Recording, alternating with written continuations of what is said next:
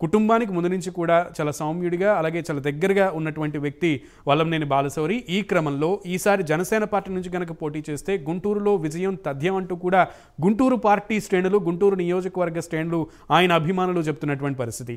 అక్కడున్నటువంటి latest updates అంటే గుంటూరు నియోజకవర్గానికి సంబంధించి గుంటూరు పార్లమెంట్ నియోజకవర్గం కానివ్వండి లేదంటే అసెంబ్లీ నియోజకవర్గానికి సంబంధించి కానీ సమీకరణాలు ఏ విధంగా మారేటువంటి అవకాశాలు ఉన్నాయనే విషయాల్ని మా ప్రతినిధి రవికృష్ణ అని అడిగి తెలుసుకుందాం. రవికృష్ణ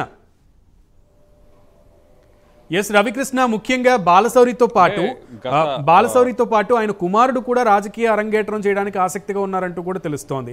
ఒకవేళ ఒక నాయకుడు అంటే ఎంపీ బాలశౌరి మచిలీపట్నం నుంచి కనుక పోటీ చేసే అవకాశం ఉంటే మచిలీపట్నం కాన్స్ట పార్లమెంటరీ కాన్స్టిట్యున్సీ తీసుకుంటే కనుక ఈ కుమారుడిని కనుక గుంటూరు నుంచి పోటీ చేయించే అవకాశాలు ఏమైనా ఉన్నాయా? ఆ విషయాలు ఏమైనా బయటకు వచ్చాయా?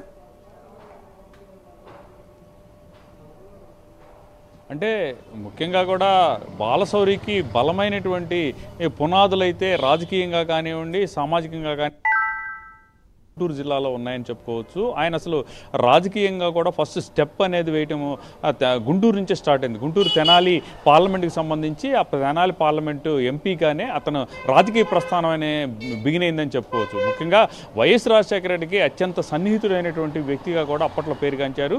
అయితే ఆయన ప్రోద్బలం మేరకు ఈయన రాజకీయాల్లోకి రావటం అనేది జరిగింది. ఈ నేపథ్యంలోనే పూర్తిగా కూడా ఆయనకి సంబంధించి గుంటూరుకి సంబంధించిన నాయకులతో కానీ నేతలతో కానీ బలమైనటువంటి సంబంధాలు ఉన్నటువంటి ఈ పరిస్థితి ఉంది. ఈ నేపథ్యంలోనే ఆయన మూడు సార్లు కూడా ఎంపీగా నాలుగు సార్లు అంటే మొత్తంగా టోటల్గా కూడా నాలుగు సార్లు పోటీ చేశాడు రెండు సార్లు విజయం సాధించాడు. మధ్యలో మూడు సార్లు కూడా ఆయన గుంటూరు నుంచే కంటెస్ట్ చేసిన పరిస్థితి.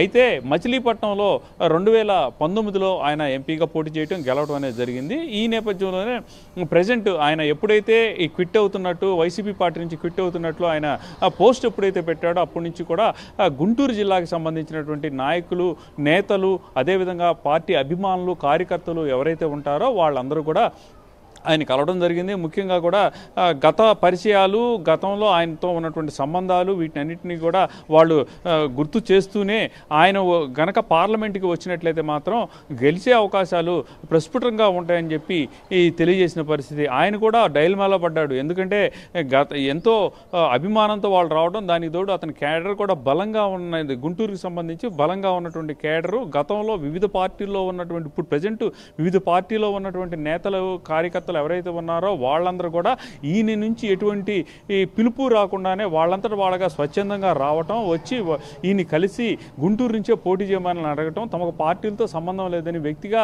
ఆ, సంబంధం ఉంది కాబట్టి తాము కంపల్సరీగా కూడా ఆయన వెంటే ట్రాలీ ర్యాలీ అవుతామని చెప్పి కూడా చెప్పినటువంటి ఈ పరిస్థితులు కూడా ఉన్నాయి. ఈ నేపథ్యంలోనే ఆయన గుంటూరు వైపు ఎక్కువగా కూడా ఇంట్రెస్ట్ చూపించినట్టు తెలుస్తుంది.